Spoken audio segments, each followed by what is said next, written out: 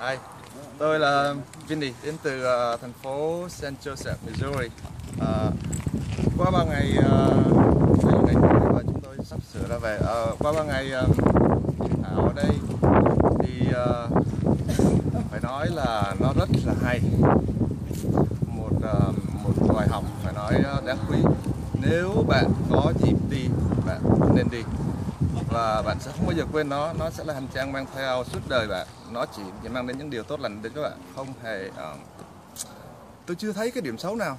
Uh, chỉnh sửa thì cũng có nên cũng có những vài điều chỉnh sửa nhưng mà tóm lại ồ oh, chút thì uh, ờ, có lần này uh, vừa rồi là có anh Huy ở Việt Nam qua. Ồ oh, tuyệt vời.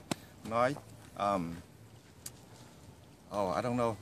I don't know what to say but he's very good and Uncle uh, Uncle Dean, Uncle Dean and uh, chị Phương có dịp uh, uh, nếu mà có dịp đi uh, xin mời các bạn uh, đừng chần chừ nữa có dịp take a ticket and do it and you can do whatever you like in your life.